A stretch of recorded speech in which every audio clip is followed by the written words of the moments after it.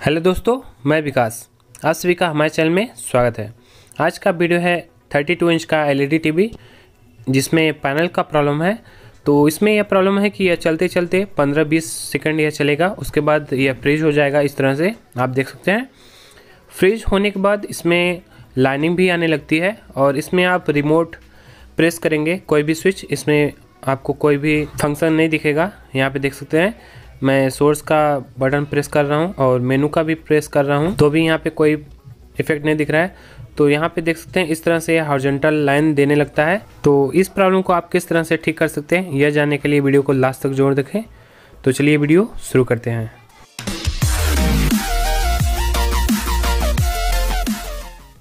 Welcome to my channel Prem electronics subscribe and press bell icon. तो हम सबसे पहले इसका पैनल का वोल्टेज चेक करेंगे। तो यहाँ पे देख सकते हैं 12 वोल्ट और इसके आउटपुट पे देखते हैं, इस फ्यूज के आउटपुट पे। तो यहाँ पे भी 12 वोल्ट हमको मिल रहा है।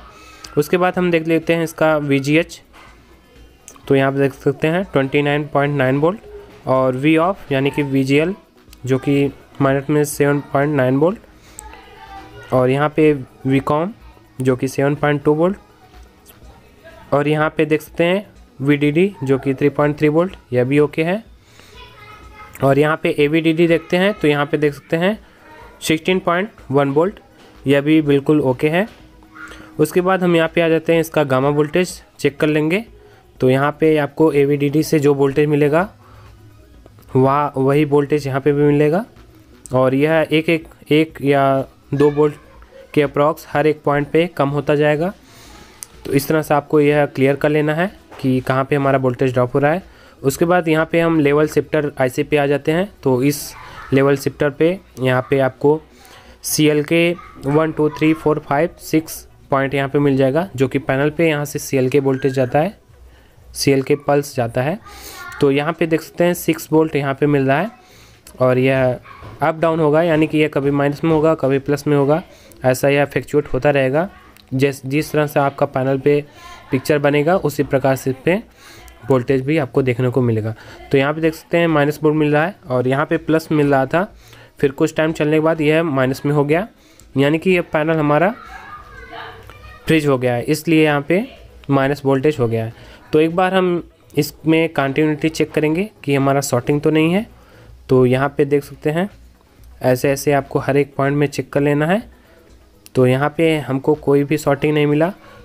और जो यहाँ पे हमको शॉर्टिंग मिला फाइव और सिक्स नंबर पे तो यहाँ पे देख सकते हैं सी एल के फाइव और सिक्स नंबर तो उसका पॉइंट इधर लेफ़्ट साइड में और राइट साइड में यहाँ पे देख सकते हैं, और लेफ़्ट साइड में यहाँ पे आपको सी एल के का सारा पॉइंट यहाँ पे मिल जाएगा।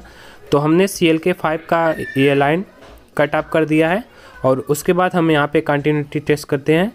तो हमने राइट साइड में C L K five number का पॉइंट जो था, उसको मैंने कटिंग करने के बाद यहाँ पे अब कंटिन्यूटी टेस्ट कर रहे हैं तो यहाँ पे कोई भी शॉर्टिंग नहीं दिख रहा है। तो एक बार हम यहाँ पे पावर दे के इसमें देख लेते हैं कि कितना वोल्टेज हमको मिल रहा है। तो यहाँ पे देख सकते हैं फ़र्स्ट पे seven point one six volt जो कि स्टेबल है। और दूसरे नंबर पे हम देखते हैं तो यहाँ पे सेवन वोल्ट यह अप डाउन हो रहा है। और थर्ड पे देखते हैं तो यह सिक्स पॉइंट वहाँ पे भी अप डाउन हो रहा है। और फोर नंबर पर हम देखते हैं तो यहाँ पे भी अप डाउन हो रहा है। तो आप हमसे टेलीग्राम इंस्टाग्राम फेसबुक से भी ज्वाइन हो सकते हैं। लिंक मैंने डिस्क्रिप्शन में दिया हुआ है। तो अब हम यहाँ पे फाइव नंबर पे चेक करते हैं। तो यहाँ पे देख सकते हैं, यहाँ पे भी अप डाउन हो रहा है। तो यानी कि यह जो लेवल शिफ्टर आईसी था, बिल्कुल ओके कंडीशन में वर्क कर रहा है। और हमने इस टीवी को 10 से 15 मिनट चला के देखा। उसके बाद ही यह वीडियो बनाया, जो कि यह प्रॉब्लम अब सॉल्व हो चुका है। तो ऐसे ही ट्रिक के लिए आप हमारे चैनल पे बने रहें लाइक करें कमेंट करें शेयर करें और सब्सक्राइब करना बिल्कुल भी ना भूलें। लास्ट तक वीडियो देखने के लिए धन्यवाद। थैंक यू दोस्तों।